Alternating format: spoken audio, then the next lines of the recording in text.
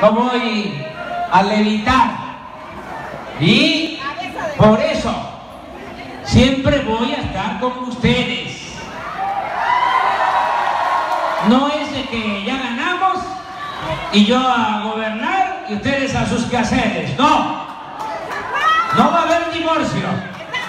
Es gobierno del pueblo, para el pueblo y con el pueblo.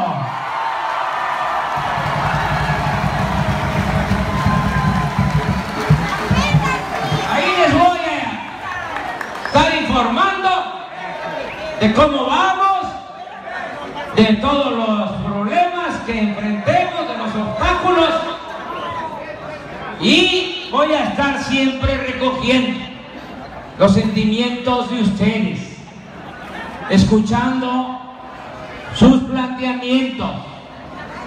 Ahora vengo, además de agradecerles y decirles que no les voy a fallar, vengo también a presentarles el programa básico con lo que vamos a iniciar ya en muy poco tiempo, desde el primero de diciembre que me van a poner la banda presidencial, inicia con intensidad la transformación del país.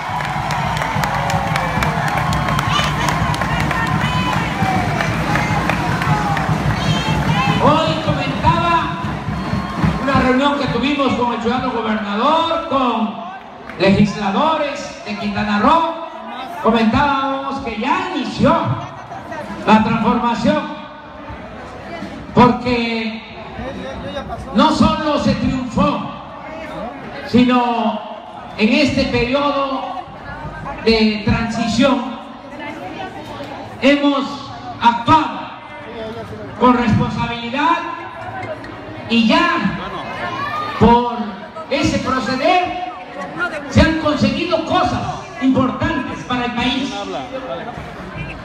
No se nota, pero hay estabilidad económica, hay estabilidad financiera. Se equivocaron los que decían que si ganábamos iba a haber devaluación, iba a haber fuga de capital, iba a haber inestabilidad financiera, económica, nada de eso ha pasado. Hasta se fortaleció en estos meses nuestra moneda, el peso. Porque a nivel mundial hay una gran admiración por lo que sucedió el día primero de julio, por lo que ustedes hicieron. En todos los países los gobiernos están eh, sorprendidos de que se ganó con mucha ventaja y que además hemos llevado a cabo, repito, esta transición en armonía. Con decirles que he hablado dos veces por teléfono con el presidente Donald Trump y ha expresado su respeto a nuestra independencia, nuestra soberanía nacional.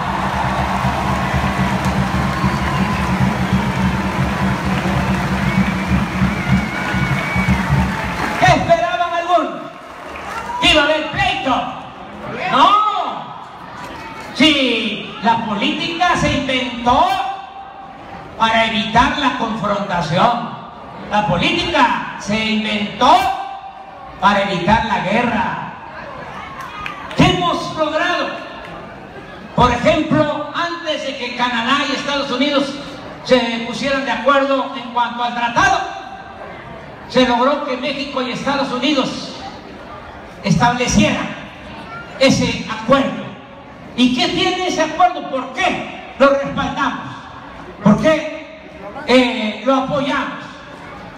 Estuvimos pendientes y hay tres cosas que son importantes. Hoy lo dije en la reunión que tuvimos en la mañana, pero lo repito ahora. Primero, porque se van a aumentar los sueldos de los trabajadores mexicanos de la industria automotriz. Hoy ponía el ejemplo, un trabajador de la industria automotriz de una empresa de autoparte gana 3 dólares la hora. Estados Unidos, en Canadá, hasta 30 dólares la hora. Bueno, eso ya quedó en el tratado que tienen que aumentar los sueldos de los trabajadores para que de esa manera lo que se produzca en México pueda entrar sin arancel a Estados Unidos. Por eso las plantas que están en México van a tener que pagar más a los trabajadores y por eso aceptamos ese tratado. Lo segundo es de que cuando conocimos el texto que se estaba negociando, había un capítulo sobre energía, así, de voluminoso, de grueso, y nos quitaban libertades, independencia, soberanía sobre nuestros recursos naturales y sobre todo nos quitaban la posibilidad de decidir libremente sobre el petróleo y la industria eléctrica. Y dijimos, eso no, lo aceptamos. Y no se supo, pero se por un tiempo la negociación. Se pararon de la mesa donde se estaba discutiendo el tema y dijimos, eso no pasa, no lo vamos a aceptar. Fueron los funcionarios de Estados Unidos a consultar a Donald Trump. Y Donald Trump les dijo que quede el texto que está proponiendo el presidente electo de México. ¿Y saben qué quedó? dos párrafos, así, a la tropical. ¿Qué dicen esos dos párrafos? Ahí lo van a leer en su momento.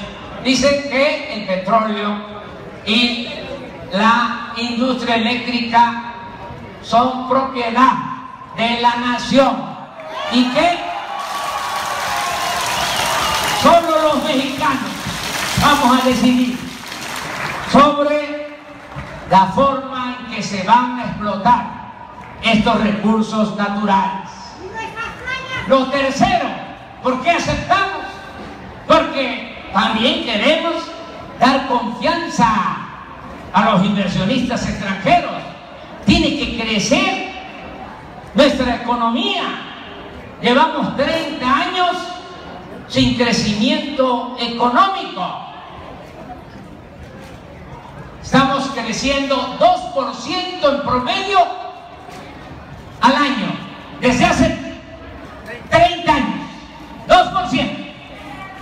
Y aquí está el ejemplo, por lo que me da mucho gusto estar aquí con ustedes, porque ustedes eh, han venido aquí, a Quintana Roo, a buscarse la vida en todo este periodo de crisis Quintana Roo ha sido refugio de mujeres, de hombres trabajadores que han venido aquí a salir adelante. Por eso, mi respeto, mi admiración para todas y todos ustedes.